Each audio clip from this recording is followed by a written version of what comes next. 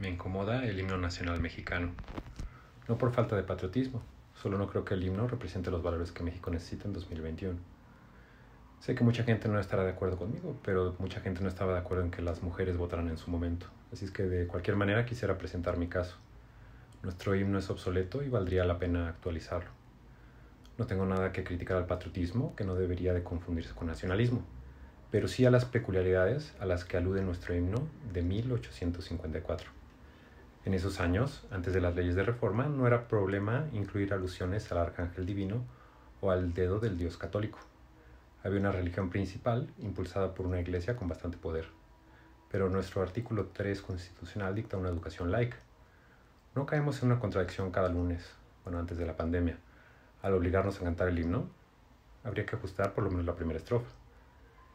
El himno fue compuesto dentro de un contexto de guerra constante, que no tendría pausa hasta el porfiriato. La situación ha cambiado considerablemente. México se ha forjado una imagen pacifista en sus relaciones internacionales, siendo un ejemplo el Tratado de Tlatelolco de 1967. Me pregunto si se entonó el himno para celebrarlo. Para evitar las contradicciones, tendríamos que ajustar el resto del himno pues ya mejor empecemos de nuevo.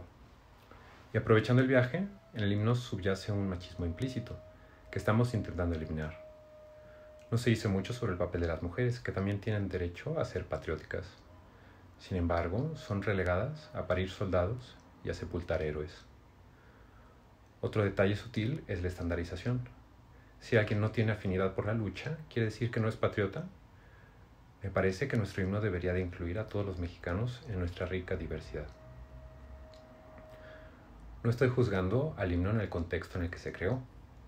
Quiero discutir su utilidad en nuestro contexto globalizado de 2021. ¿Qué valores contemporáneos podría incluir un himno para el México del siglo XXI? Justicia, equidad, derechos, compasión, educación, trabajo, ciencia, arte, deporte, paz, verdad, familia, amistad, benevolencia, respeto, honestidad, elegancia, salud, mesura, amor, naturaleza, hospitalidad, creatividad, unión, desarrollo, progreso. Hay de dónde escoger.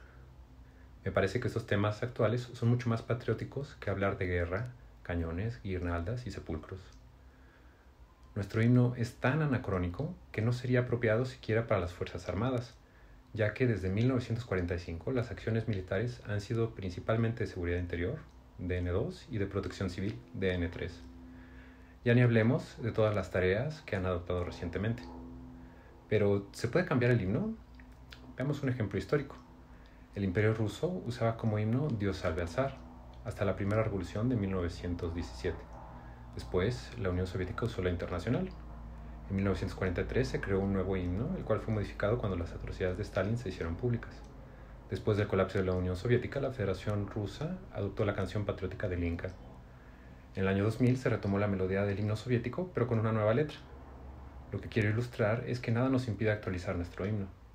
Más aún, no es necesario cambiar la melodía, solo la letra, la cual bien podría perdurar en un museo en su contexto original. Imaginemos una patria que no demanda un tributo sangriento. Imaginemos una patria con amor para todos, con deseos de que tengamos éxito, con empatía hacia nuestros errores, donde nuestras similitudes nos unen más que de lo que nos separan nuestras diferencias. Imaginemos un himno que nos motiva a ser mejores personas. Hay un obstáculo potencial. Si algún partido político se propusiese actualizar nuestro himno, aunque no pretenda infiltrar su ideología, los partidos opositores lo rechazarían.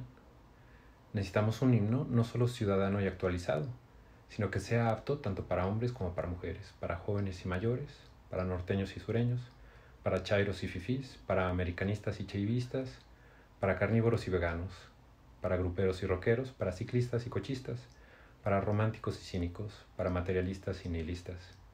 Que nuestra diversidad sea nuestra fortaleza, no nuestra perdición. Poetas y músicos, el reto está en su cancha.